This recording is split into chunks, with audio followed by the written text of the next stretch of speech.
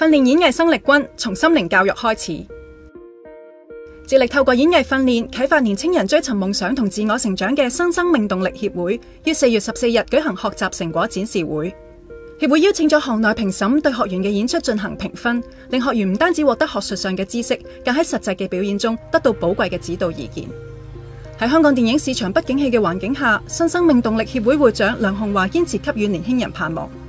協會設立嘅每個課程均由行內資深導師提供培訓，讓學員喺短時間內掌握行業嘅基本知識同技能，甚至能夠得到入行嘅機會。對於有潛力嘅學員，協會會提供在職培訓，讓學員參與電影拍攝工作。一路落嚟，我哋睇到嗰個成效，譬如你一班诶三十個人裏邊咁先算啦，係一定超過有二十個人以上，佢哋係非常之欣賞。有前邊呢二十分鐘至到三十分鐘嘅心靈輔導分享嘅，